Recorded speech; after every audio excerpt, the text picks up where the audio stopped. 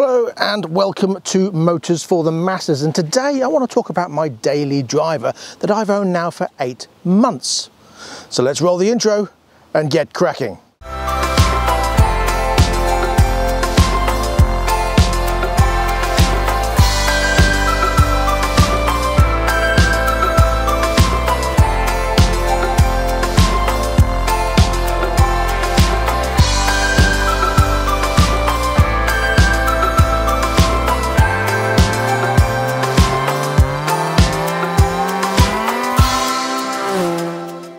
As you know, I've never been one for owning a car that everybody else has.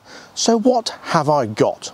Well, it is a 2000 Audi A8 2.8 V6 Auto Sport. You might well be asking yourself why. Well, I love retro, long, sleek, luxurious, not very expensive, but used to be expensive cars. And that's exactly what this is.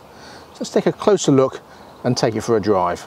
But first of all, I want to address as to why between these age-related stone chips on the bumper, I have a V8 number plate on it. No, it's not a V8, and if I had a V6 number plate, I'd be putting that on it. However, this plate used to be on my 06 Mustang, which was a V8. And rather than just sit there on retention, which it has done for the last seven years, I thought, I don't want to lose it, I'd rather use it. That rhymes. So I put it on this. So there you go. That's the story behind that. However, I shall bring you in for a closer look and show you the stone chips because from that distance, you can't really see them, but it has them. And there they are. Many of them. No, I didn't put the S-line surround on either. That was already on the car when I got it. I also didn't tint the windows. Now, I quite like them because I like dark tint windows and they are legal and these ones are not as dark as the rear ones. However, the rear ones have a purple tint and my son Patrick hates that because from the inside it said it looks awful looking out through the window. I don't mind it. I did try and remove it, but because it's been on there some years, it's a bit flaky and I tried one little bit on the other side because it's also starting to separate at certain places. And the other side has got a piece missing now but never mind. But I like them. And from six foot they look awesome. You can't see any marks whatsoever. See this rear one looks great. This passenger one starting to separate here. Look you can see down there there's a line and a bubble there now I could get them taken off and redone, but again, when I tell you how much I paid for the car, you'll realise why I'm not doing much with it. The back one's not too bad at all. You've got a couple of dots here where it's starting to go on the heat lines and a tiny little bit here, but that's it. Mostly it's okay. The driver's side is where it's worse. The driver's door is fine, but the rear door here, look, it's got a bit there, bit there, and then a line here. And here is where, see look, dark, dark, dark, dark, dark. There it is. That's the bit I took off there. And it flaked really horribly. So I just left the rest. When it's shut, you can't really notice it. So let's take a look at that Not a V8 engine which develops 193 horsepower and 206 pounds-foot of torque. 0 to 60 time when new was nine and a half seconds with a top speed of 145 miles an hour. Now, I think it's pretty clean and I don't really clean it. I wipe over it occasionally. That's about it. So it's a pretty clean engine. And all I've had to do to the car so far is, what do I have to do? Oh yeah, um, the suspension arm. And that's it so far. Fingers crossed. And I have noticed that my coolant is slightly low. But this is a teachable moment. That's why I left it like that, to show you to check your engine bay regularly. Check your oil and check your coolant. Got away with that. Okay, well, there was one other thing I had to do, and that was because I didn't like what it came with wheel-wise. Now, it came with these 16-inch sport wheels, pictured here.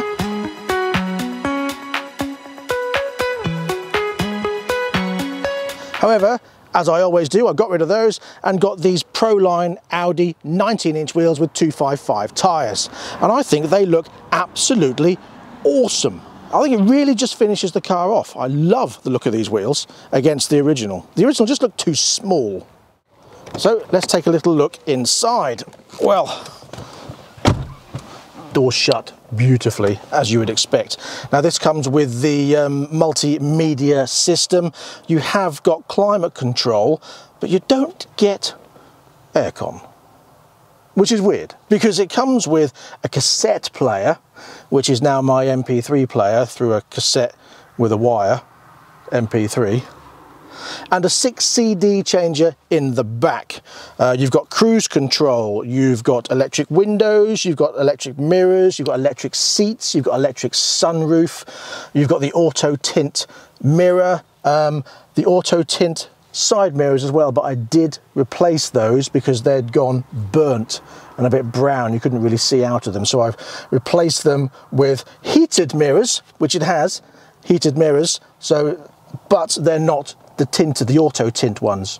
I didn't want to put that back on because they were stupid prices. So I thought, no, I'll leave that. Um, you have got a little menu button in here and like a little heated metal um, tray for your coffee in there and two in the back also. Um, you've got, uh, I would like to say multi-function steering wheel, but that's basically volume up and down and station up and down. That's about it. Um, front and rear fog lights. Um, in here you've got a couple of little cubbies, great for holding your card holder and uh, uh, gummy bears and cassettes, obviously. Perfect, actually, perfect for cassettes. I know that's not in its case, and it should be. Naughty me. Um, ashtray with not a 12 volt supply, a cigarette lighter, I'll have you know. of course, being a 2000 car where you weren't uh, worried about offending people by using the word cigarette. Anyway, um, yes, the sunroof I love because you turn that and it just goes so smooth and so quiet. Um, the engine as well, from within here, very quiet indeed. Now what I'm going to do is start the car up, bearing in mind that door is wide open. I'm going to start the car up and you can hear just how quiet it is, even though it's done 130,000 miles and it's 23 years old. Key would be handy, wouldn't it? it's not a push button start. I could pretend. Are you ready?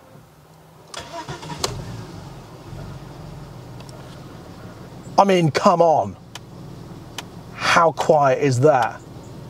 That is impressive. I mean, the, the loudest thing in here is the fan. Um, oh, hello. I've got these everywhere. Ladybirds. Off you go. Um, and a warning symbol because the door's open. I'm aware, thank you. Uh, however, yeah, it's great. Now, there are a couple of issues. Um, some of the numbers are starting to go on the dash. Um, and when it gets hot, they get fainter. But it's only mileage and the clock, so it doesn't really matter because you get clock from your phone and mileage, well, I know what that is. Sometimes it comes on when it's cold, so once it has the MOT, you can tell. I mean, at the moment, it's done 132,023 miles. 133,023 miles. There you go. Easy to tell. But yeah, I mean, look, listen to it. It's quiet as anything. And I'll take you outside with the engine running. You can see how quiet it is out there also. I mean, what I'm going to do is close this door and go around the other side and get in the car with all the doors closed and you can hear just how quiet it is.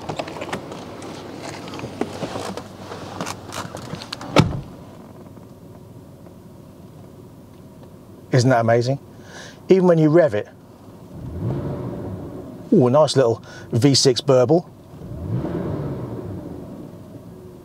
Other than that, very quiet. And when you pull away gently, it is very quiet. But we'll still demonstrate that in a moment. First of all, let me show you the back. Now, this car is in pretty decent condition all round. Now, sitting in the back here, the seat is where I would have it as a driver, and it is so comfortable.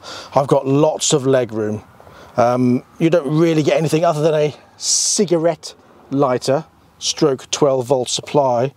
Um, it is big enough for three adults. However, in here, you've got a nice little drinks warmer and a Maoam holder. Thanks, Patrick. Um, but it has a little first aid symbol. That one that side? Yes, for your first aid kit. And a little cubby hole through to the boot if you want to. Love that.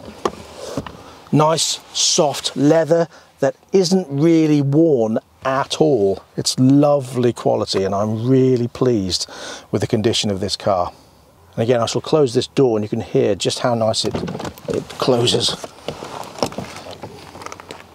Are you ready? Nice and gentle. Oh, quality. Now the boot on these are also quite luxurious. Oh, it's got rear parking sensors as well, by the way. Um, despite having stuff in it, 525 litres of space going all the way back there. just touch the back there.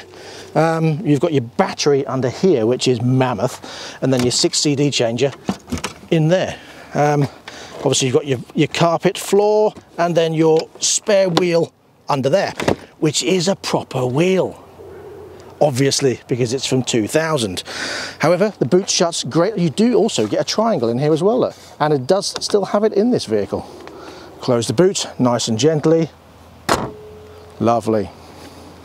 Front parking sensors too. Being the sport model it does come with the huge red calipers. Now I do want to point out the scuff marks on the wheels. That wasn't me because I bought these wheels second hand and they were cheap because they had a few scuff marks. So then, let's go for a drive and I shall show you how that ABS and that independent multi-link suspension handles in this car. Beautiful.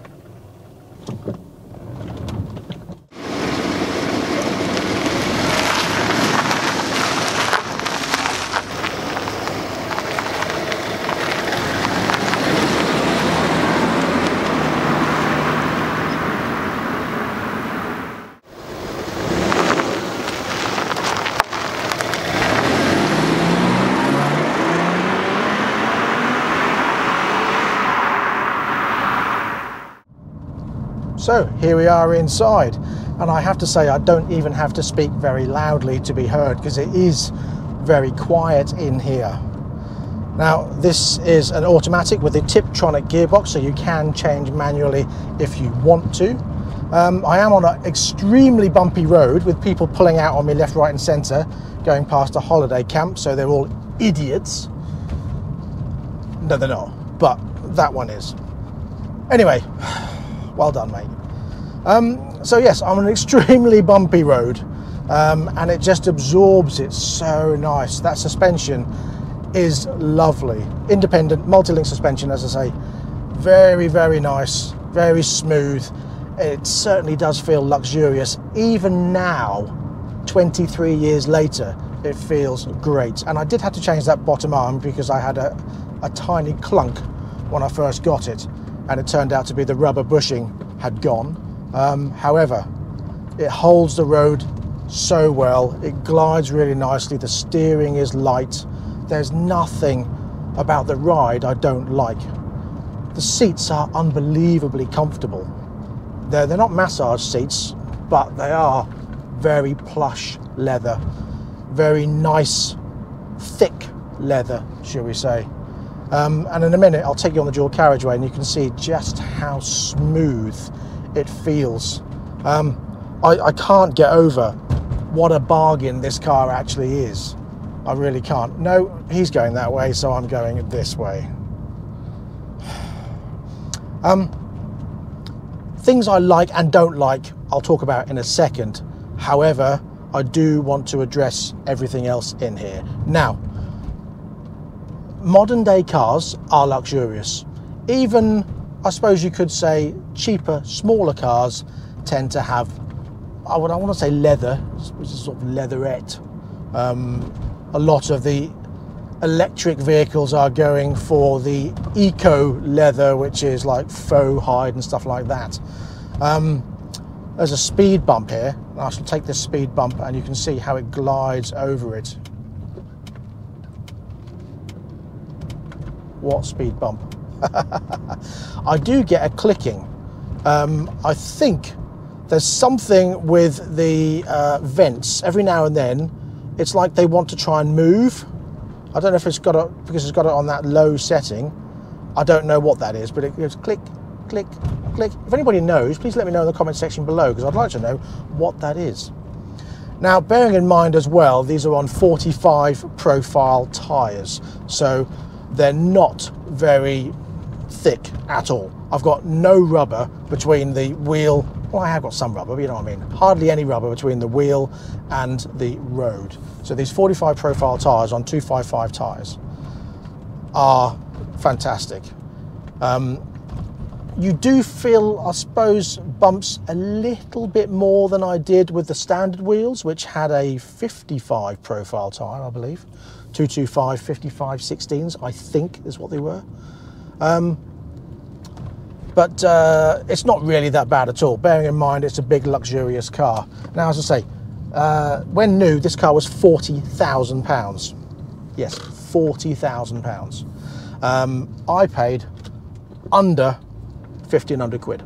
So less than 1,500 pound for this car, which is a bargain, an absolute bargain because the price they're going for now is double that and more. Um, I mean, listen, we're on the dual carriageway now. Gear change is smooth. The ride is delightful. It's just, it glides so nicely. And you would have to pay a lot of money to get that from a modern car, I believe. I mean, this it just oozes. Hello, luxuriousness. Ooh, overtaken by Renault. Ooh. Ignore that, move on. So, yes, um, I mean, I'm sitting now at 60 miles an hour at 1,450 revs, which is not bad at all. Uh, the steering wheel is straight, just glides beautifully. No lumps and bumps. It's just amazing. It's, it's true, it's relaxing. I mean, I'm, I know I'm raving about it and I know it's my car, but you don't have to spend a huge amount of money to get luxury as long as you search for something that's a little bit older, been well looked after, and isn't leaking oil and God knows what everywhere. Now, again, being an Audi A8, um, you can expect some parts to be expensive, um, but there are Audi specialists out there. Now, bearing in mind though, this Audi A8 had so many variations. It had the 2.8, had the 2.8 Sport, it had the 2.8 um, four-wheel drive Quattro, it had the 3.3, it had the 3.7. They did a 4.2 V8 as well, and then they went into the S8. Um, so they did have quite a few different models. Um, this could be argued as not being the base model, but it's the smallest engine capacity they do. Um, MPG is around 25, so it's not horrendous. Um, however, the uh, CO2s are 257, which means it's 325 pounds a year in tax. So, Group 43 insurance, I believe, if I remember correctly. Um, but uh, other than that, it's uh, it's not a lot at all. Um, I mean, I am going to go back down the dual carriageway. Um, once I get through the 40 miles an hour bit, I shall put my foot down and you'll see how it picks up. Um, I think it picks up rather nicely. Again, it's not rapid, it's not going to kick you in the back and throw you down the road. But it does feel smooth, should we say. So I'm now currently sitting at 40 miles an hour. Um, when we get to the 60 limit, I'll put my foot down and we will cruise up to 70 quite nicely, I hope. Just gonna be quiet for a second. And 60, here we go, ready? So foot down, one, two, up to five and a half thousand RPM, oh, slightly, uh, 70. Nice. So yeah, it doesn't take long to get there at all. I'm going to do the other side of the roundabout the same so you can see how quickly it picks up from 20 miles an hour up to 70. again, it's so, I mean, I'm sitting now at 60 miles an hour again, 1,500 revs. Lovely. I mean, what I like about it is you've got a great visibility out of these mirrors, uh, mirrors, so she used to being on a bike. Great visibility out of the windscreen and the mirrors, obviously. Um, it's so quiet and serene in here. As I say, you could easily think you are in a car that's maybe two or three years old. I love how this feels. It oozes quality. So we are now doing 20 miles an hour. Are you ready?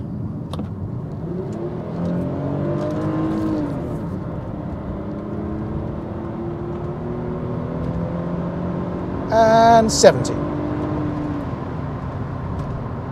That's not bad. Okay, as I say, it's not a rocket ship and there are a lot faster cars. But it, it gets you there in a glidey, relaxing, subtle way. By the way, doing 70 now. He's off.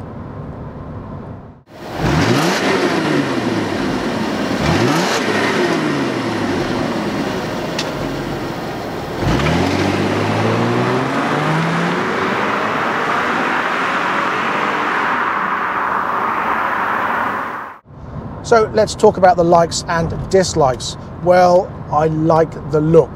That's the biggest thing. No, I love the look. Now, originally I was looking at the predecessor to this one because I thought it was more boxy and I do like the boxy shape. Um, however, this one is long and sleek, and although it's slightly rounded, it's not as bubble um, shape as the D3. This is the D2 model. Um, I love the look of this. Um, apart from the back lights, that's one dislike. The back lights are a bit blobby, but having said that, it shows its retroness through that. I like the the long, sleek um, lights in comparison to the modern lights on the Audi. I say the modern one, the D3, the one after this. Um, the current Audi, again, it's a bit blobby I think it's lost its um, long sleekness. It's just a large car. Um, I love how it, comfortable it is. It's it's unbelievably comfortable. Um, I love how quiet and smooth it is. Now, usually I want to change the exhaust, and I know someone has put um, twin metal exhaust pipes on this, which I do need to change because um, when it's ticking over when it's cold, you can hear them rattle, and that is slightly annoying. I can't hear it in here, but you can hear it from the outside.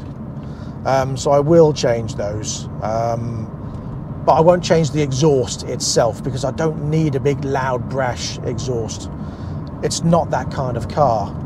Uh, you don't need to be doing 100 miles an hour because that would be illegal. So sitting at 60 is absolutely fine. I'm in this 40 limit and I'm happy doing 40 miles an hour. Bearing in mind this road used to be 60, I don't feel as though I want to go faster. I'm quite happy and how relaxed and comfortable it is. Um, okay, something else I don't like. Um, I don't like how the uh, cruise control doesn't seem to work, but I think that's a fuse. I need to look into that again because I'm so busy. I don't get a chance to look into some of the little foibles. Um, I do have um, an ABS module because there is a little intermittent fault with the ABS light coming on. Um, and um, that's only recent. So I bought an ABS module because I've been told that's what it is. Um, I paid 30 quid for a used one um, on eBay and uh, that will be fitted very soon. So uh, that should clear that light up. Doesn't seem to make a difference the way it drives at all. It just seems to be a communication issue with the light. Oh no i don't like that it doesn't have aircon. How stupid is that? With all these gadgets it doesn't have aircon although it does have climate control. It's got econ for economy. Obviously it just sort of not aircon um, I like the attention it gets. A lot of people stare at it because you don't see many of these D2 models around anymore. They are very comfortable, very rare models now. Um, a lot of them were thrashed up and down the motorway by executives because they were an expensive car. So a lot of them have been sort of abused, I would say, but probably well maintained. Um, are they going to let me through? I can't go down there. Thank you. I like the responsiveness. Um, when you put your foot down, being an automatic, you got a little bit of lag. Um, but when you pull away out of a junction, it picks up really quickly, really well. Really pleased with that. Um, I should pull out of this junction down here and you'll see what I mean. But um, I, I, like the way it wafts. It's just oh, effortless. Oh, okay, I'll be there in a minute kind of attitude. Um, I quite like the brakes. They're not amazing, but they are pretty good. I didn't pull out of there. See what I mean? I don't feel I need to. It's just such a wafty, relaxing, soft car. I don't feel as though I need to thrash it. It's great. Wow, three learners in a row.